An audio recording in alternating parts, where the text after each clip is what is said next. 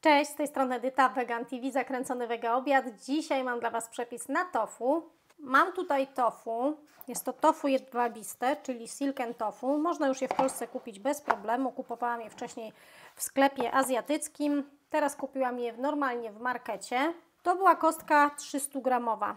Co ja z nią zrobiłam? Najpierw odcisnęłam z niej wodę, zamroziłam, rozmroziłam i znowu odcisnęłam z niej wodę. Co prawda to tofu okazuje się, że jest bardzo, bardzo miękkie i nie jest takie, jakie chciałam, żeby było, jakie kupowałam wcześniej, no ale nie mam innego, więc ten przepis będzie z wykorzystaniem właśnie tego. Jeśli chcecie, oczywiście możecie użyć normalnego tofu naturalnego. Ja już sobie na kolejny przepis zamroziłam tofu wędzone, czyli to jest 300 gramów tofu jedwabistego. Teraz zrobię do niego marynatę i będę piekła. Najpierw do butelki, będzie tak łatwiej.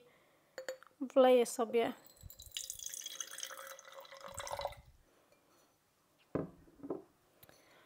pięćdziesiąt ml sosu sojowego, do tego oliwa,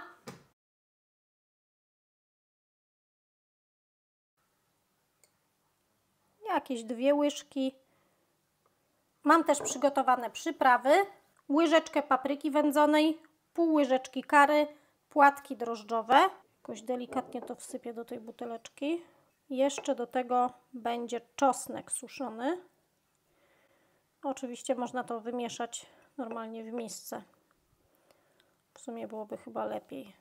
Nie przewidziałam, że wezmę taką małą buteleczkę.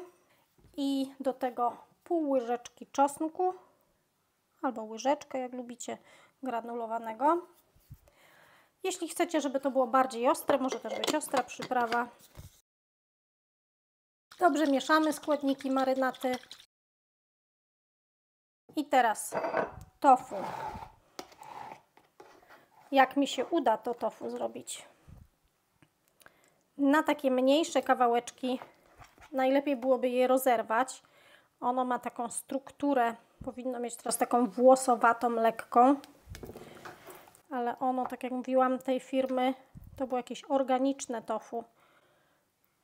Nie jest aż takie, jakie powinno być. Dużo go nie będzie. Możecie zrobić od razu z większej kostki.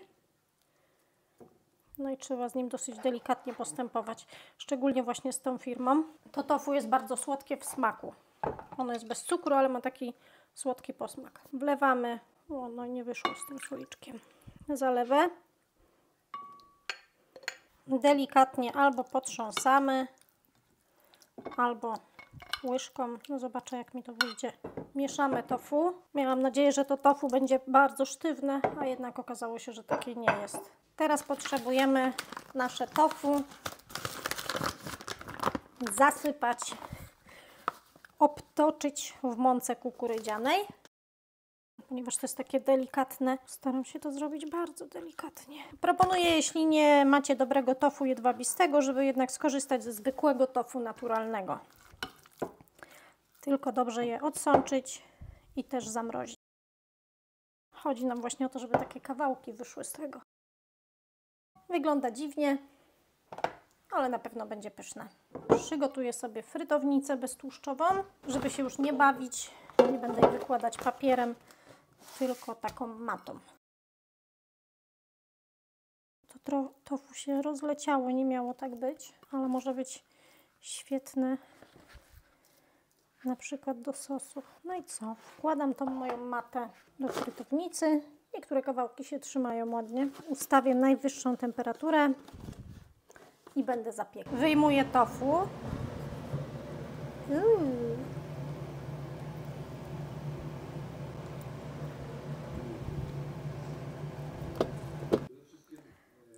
Tofu wyjęte, teraz będę je przekładać do miseczki.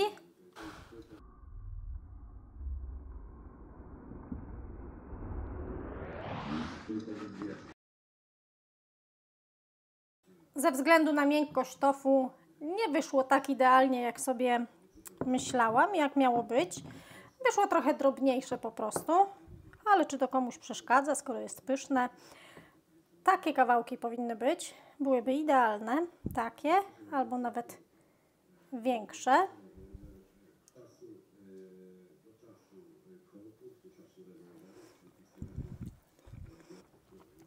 Do czego możecie teraz ich użyć? Na przykład do sosu, do zupy, do sałatki, zjeść na obiad. Ja myślę, że będzie idealne do bolońskiego sosu wegańskiego. Dobra. Cieszę się.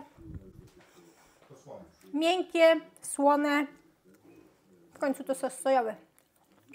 Dajcie mi proszę znać w komentarzu, jakie przepisy Wam się bardziej podobają. Czy wolicie, żeby to było bez gadania? Czy wolicie, żebym jednak mówiła?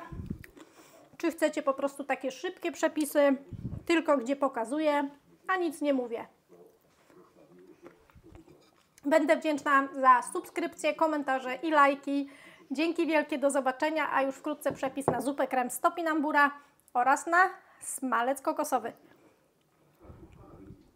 Bardzo wciągające.